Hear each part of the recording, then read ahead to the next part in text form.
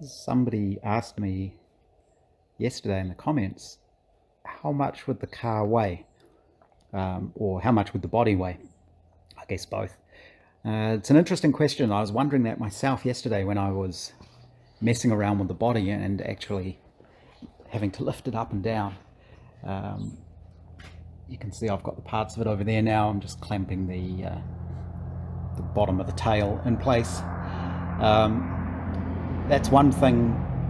If you know anybody who's into woodwork or metalwork and you don't know what to buy them, buy them more more clamps because you never have enough. Uh, they're very very handy, and you can always use more of them. But uh, those are sitting there. I suppose I could weigh what those are. At the moment, I could just um, stand on the scales and, and hold them and see what they are. But in order to figure out how heavy the car itself is, the proper way to do this, of course, is with um, proper racing corner scales. I don't have any of those and they're really expensive to buy just for doing one-off type things. Um, what most people do is when the car is finished, of course, you can take it to the local to the local tip and they'll actually weigh a car for you because they're obviously weighing trailers and things going in and out of the tip so they know how much to charge people and for a, a nominal charge they'll weigh a car and they'll give you a printout but an approximate way to do it and I know this isn't the correct way to do it and it's all a bit fiddly um, but this will give me a good approximation what you do is you use normal bathroom scales and if you're really lucky, you can get scales that go up to 200 kg or something like that, which is good for a light car. Um, I did this before on my Austin 7 and I was able to put the wheels directly on the scales, but the Riley is a bit heavier. So I had to use um, leverage basically. So instead of having the wheel weight directly on the scale, I've got it on a effectively a piece of wood. It's pivoted at this end on a piece of of number eight fencing wire. Um, and the wheel is in the halfway point and the end is sitting on the scale. So that gives me a, a two to one ratio. Um, so I can set the car down. The car has to be level, so it needs to be on level ground. Um, I probably shouldn't be doing it on top of a giant rug, but all of the wheels are on top of the rug, so any errors there should cancel out and you need the car level so I have each of the other wheels up on a small block which approximates the height of my my scales. Um, again it's all very approximate. Uh, I just grabbed a piece of wood that was more or less the right height and used that. But you can see the there's no weight on the jack at the moment. And I'm reading it's about 95 kg. Um, so that's 100 and, uh, so it'll be double that, so 180. Um, which seems a lot. I don't know how accurate this method is. Uh, even if it's not accurate, it will give me a an accurate reading of the ratio of the weights, which is important as well, so you know what the balance is. Um, so this is just the first one I've done. What I'll do is I'll swap things around and I'll do the other side and then I'll do the rear uh, and see what sort of total weights I end up with. Uh, let's see, where did I get up to? Uh, I think this morning I was talking about measuring the weight of the car and I did do that in the end. And these were sort of the numbers I came up with. Uh, it's about 95 kg at the front, 95, 97, um, and uh, sorry, 190 um, and 194 each front wheel, and 140 on each rear wheel, which kind of makes sense uh, because obviously at the moment all the weight is in the front here. So the engine, the gearbox, they're all past halfway on the car and they're, they're in the front half of the car. Um, that's where all the heavy stuff is at the moment. You have got the torque tube and the rear axle at the back, of course, but other than that, not a lot else at the moment. So the total weight at the moment, and this is without the body on it, is 664 kg. I did weigh just this front section of the frame, so just this timber work here is about 7 kg.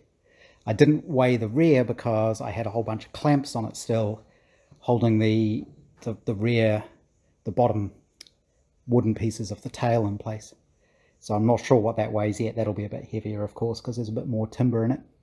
Uh, it's not finished yet, but I have made progress. I uh, have attached a crossbeam. So I've been looking at pictures of original cars again. I always go back to my photos and they do vary a bit. Um, there's different body styles, different original body styles, plus then all the replicas and the rebuild cars and um, different different styles. But I think on the originals there was normally a beam across the front and then another one across the back. And a friend of mine pointed out to me, it looks like I might not have enough space here to fit a spare tire. And that's actually true because I early on decided I wasn't going to carry one. Um, same in my Austin 7, even my MGB, I've just never carried spares in them. I think uh, I've only ever needed a spare tire once. That's in my whole driving life, um, you know, which is 30 odd years. And the one time I needed it, I couldn't use it because the the spare was fine, but I couldn't get the wheels off the car because they'd been done up at a garage who had used a some sort of impact wrench or an air an air driver, and the nuts were too too tight for me to break loose. So I didn't even get to use the spare in that instance. So, like I say, I just never carry one. Um, it's also a lot of weight. Uh, I can't remember what one of these wheels weighs. I'd have to weigh it, but they're not light. So, also with the with the wheel there, you've just got no space in the boot. So that's why I was able to take a few shortcuts. So on mine, you can see these pieces are flush with the inside of the the timber on top of the chassis rail. On the originals, these are actually thinner. Um, they're either thinner or they're slightly curved. It's hard to tell from the photos, but you get more space in there like that. And you can tell that because the, the metal bracket that goes around here has a little step on it where it steps out to meet the bottom rail. Um, I've done mine differently, so I can just do a simple flat strap all the way around to reinforce it. So, no spare tyre. Um, I've put one cross piece to um, strengthen across the top and that also ensures these tops are um, that these side pieces aren't pulling in. It's, it's holding them apart. There was a little bit of tension there. Uh, there's obviously a little bit of twist in the wood so I did have to pull those apart just a fraction to get that to line up exactly where it should. And uh, things aren't looking too bad. So I've got my string lines in place and you can see there is a slight difference on either side of the car. Uh, if I can find some sort of measuring device, this will do. Everything's covered in glue. Uh, so this string line I have measured the verticals are correct and I used the line so that I could trace out around these uprights where I need to trim them on an angle so that the, the top rail can fit on there. But if we look at this, it's just under an inch there, just over an inch there, about an inch and a quarter. But on this side, it's about half an inch in there, about half an inch. So I am slightly out. Uh, so far, that's really the only not quite straight thing on the car. Um, and that's that's not bad. That's actually pretty good. Um, the other difference, uh, the other reason that could be a little bit different is because I am measuring off the inside edge of these hoops um, which isn't cut necessarily as accurately as the outside. It's the outside that matters because that's where the skin goes. So maybe if I put my string on the outside, it'll change a little bit. But I don't think it should make much difference because these are pretty uniform. Um, I did just leave everything rough sawn more or less. I didn't bother trying to smooth anything out. So that's not too bad, I think. That won't be noticeable on a car. Um, you know, that sort of difference. That'll be fine. And you can see, oh, maybe, I've got a center line on that, and that does line up. So center looks good. Uh, I think my wooden beam in the center there doesn't actually line up. It's, it's a little bit that way. But again, that shouldn't really matter. Um, I can adjust that on the, the body. It's a bit hard to tell. But for an old car, it's straight enough. Uh, the string line let me get the angle on these faces and then I just sort of transferred that around so that it's level. And to do that I used my bendy steel ruler and just clamp that where it needs to go. And the good thing about doing that is you also get to put a level across it to make sure that it is level sort of that way. Um, which is which is fine uh, the other thing is to, before I before I checked that everything was level, I made sure all the tyres were up to the correct pressure as well. Because obviously I've got it sitting on the ground on its tyres. If one tyre was flat, then you know the body wouldn't be sitting flat. So I checked all that. Um, I actually checked all that before I measured the weight. But again, for these old cars, it's close enough. I, I'm pretty sure if you measure any body, original body, they're going to be completely wonky all over the place. So I'm pretty happy with how that's coming out so far. Uh, so yes, the trim those, then make those pieces that go in there. And there's one more hoop to make, which is the boot opening, and it goes sort of in here.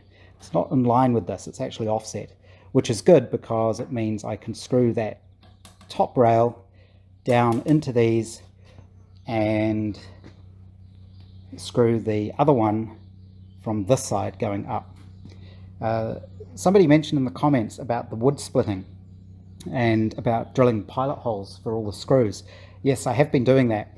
Uh, the reason it's split is uh, one of the I, I, sometimes I, I, get the holes a bit too close to the edge so these are just nail holes but if you, if you get the screw too close to the edge it's, it's more likely to split they say you shouldn't screw into the end grain uh, but there's no way to avoid it really. And the other thing I should mention about the screws is I only drill the I drill a pilot hole for where the screw goes into the, the lower piece of timber. On the top you actually drill effectively a clearance hole for where the shank of the screw goes. So look at a screw. Um, so I drill a pilot hole for where the thread goes and then this hole I drill bigger.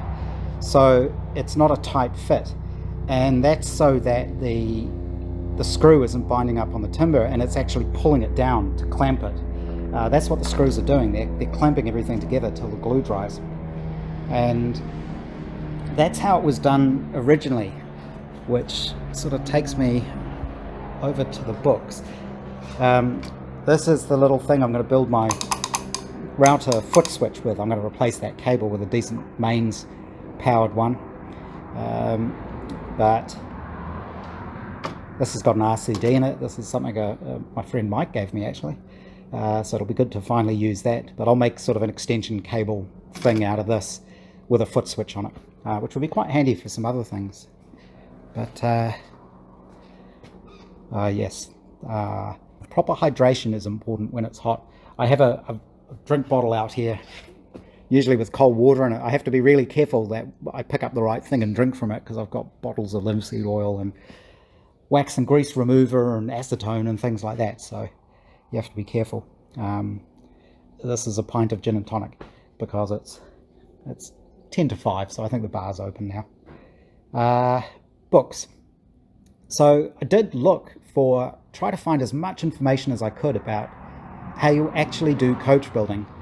And there really isn't a lot of information out there. You, you, you get books that describe it and they talk about it and they describe it as a lost art. And those books don't help because they don't explain the art at all.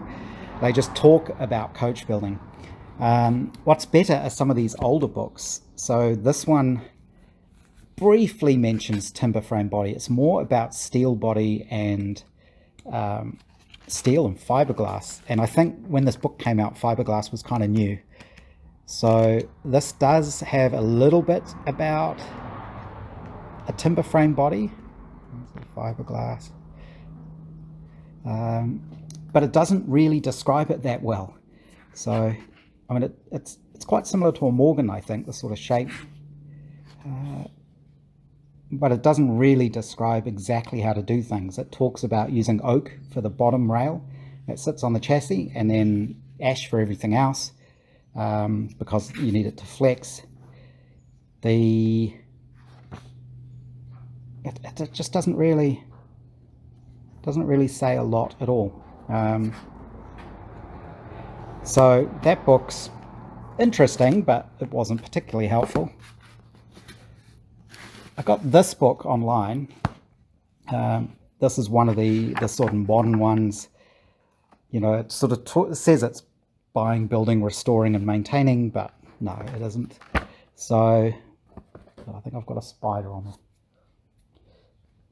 sorry, um, I sprayed the outside side of the shed and we sprayed the outside of the house with stuff that, um, oh yeah, there he goes, stuff that gets rid of spiders.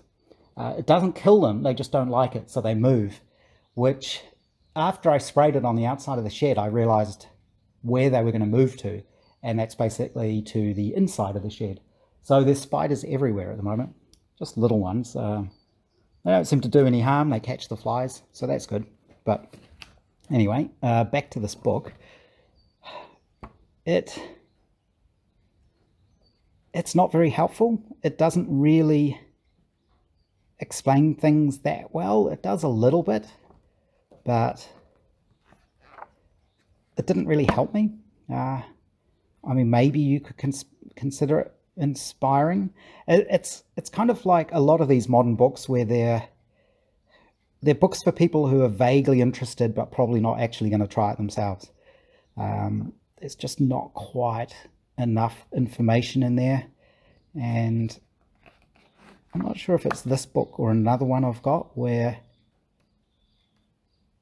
I may have another one uh, and it's got different people talking about how they do it, and they all do it in completely different ways.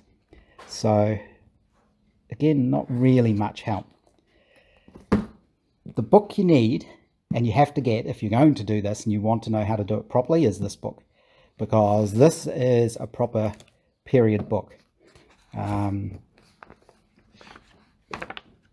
so, Motor Bodywork, Herbert J. Butler, with a foreword by Sir Herbert Austin. So you know it's good. Uh, 1924. And this book is excellent.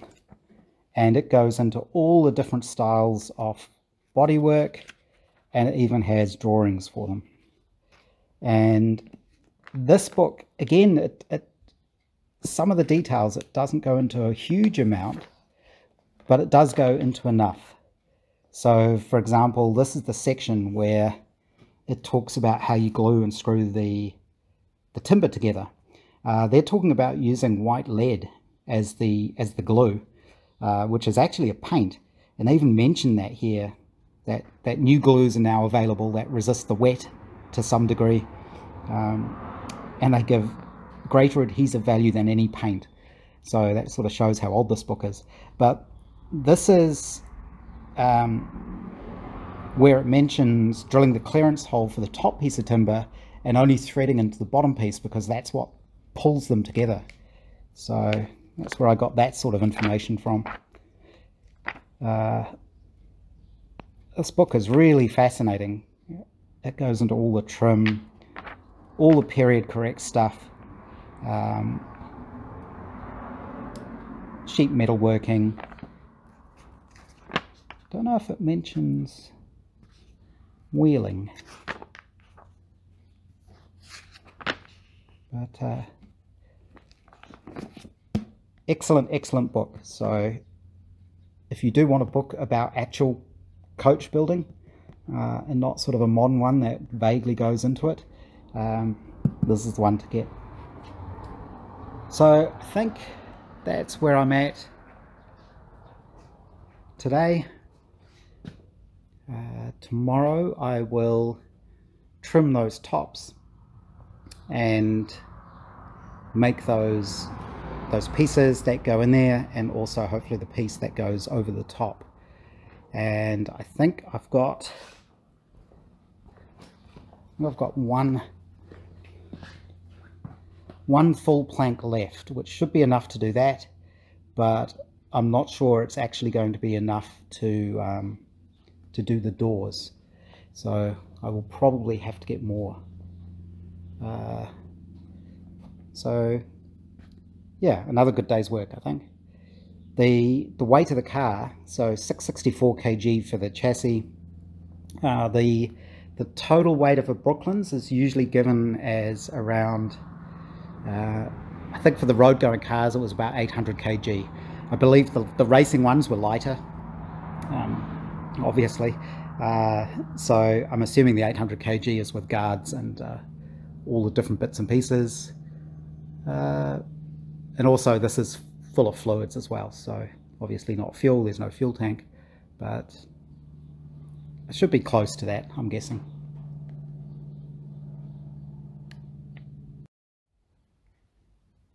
The other thing I should mention is the amount of time I've just been cleaning up so to get a lot of these bits of timber straight I've been planing the edges.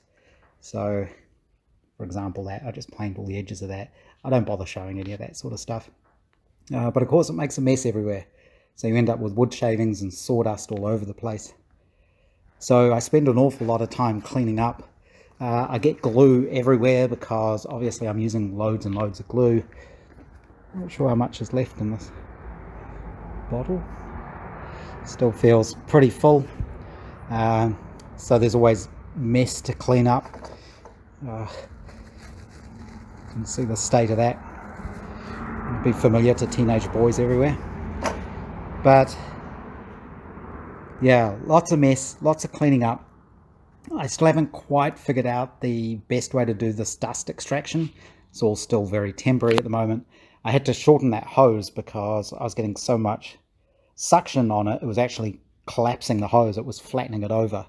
Uh, that now helps. I don't know how you're supposed to do it on these bandsaws. Uh, there isn't really a convenient place to pick up the dust, so I've just sort of got this sitting underneath here at the moment, held on with a, a microwave oven um, magnetron magnet is holding it in place. So I don't know how you would normally do it. I don't know if there's a way you would you would suck it out of here or how, how does it normally work on these sort of saws? Maybe this one's just too small to, to worry about extraction, but that definitely makes a big difference. Um, there'd just be dust everywhere if I didn't have that. There is still dust everywhere, but it'd be a lot worse. I do wear a mask as well um, while I'm doing all of this, just to uh, to make sure I'm really not breathing in anything anything nasty. Oh, I remembered something else as well.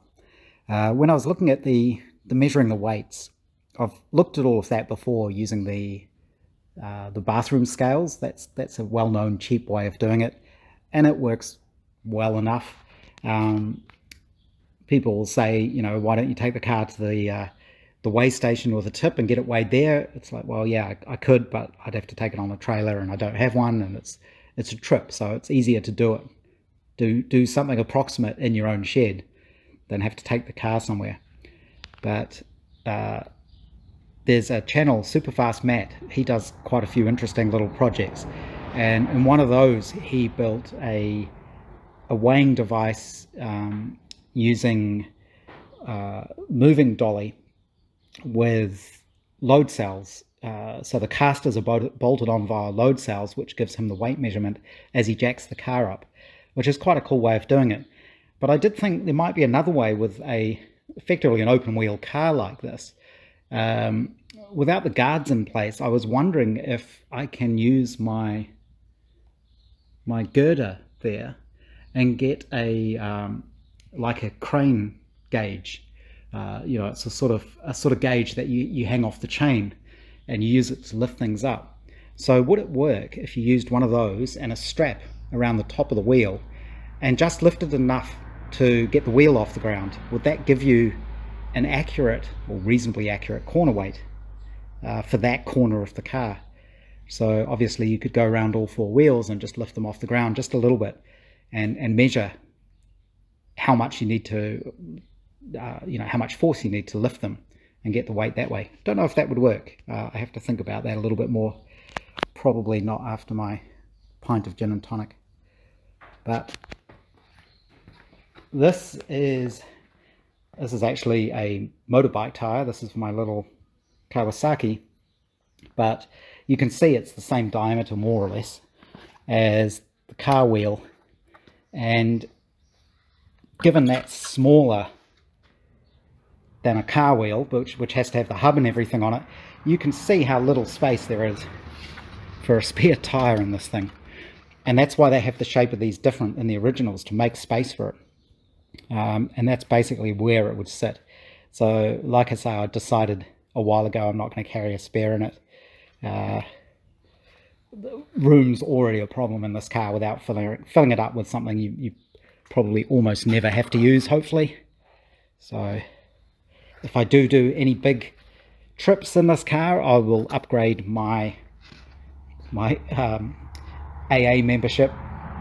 That's Automobile Association, not Alcoholics Anonymous.